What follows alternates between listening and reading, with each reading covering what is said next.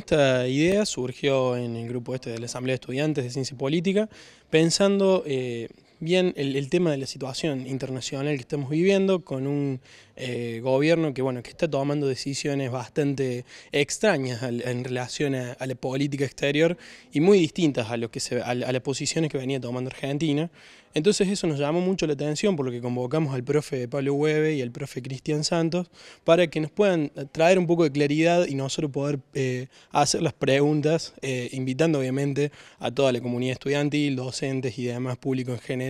para esta charla.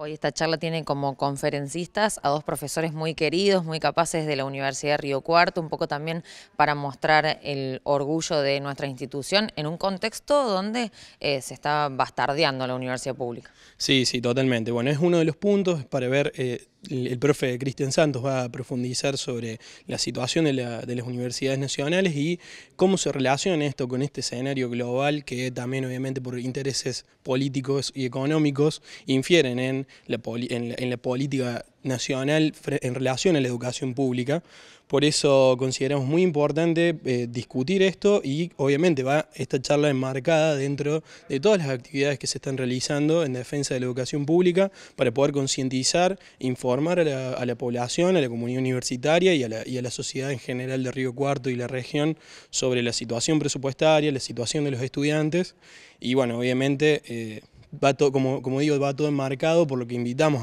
también a la marcha del 23, que va a, desarrollarse a partir de las 11 y 30 horas en la, en la Plaza San Martín, la concentración, y después la marcha a partir de las 12.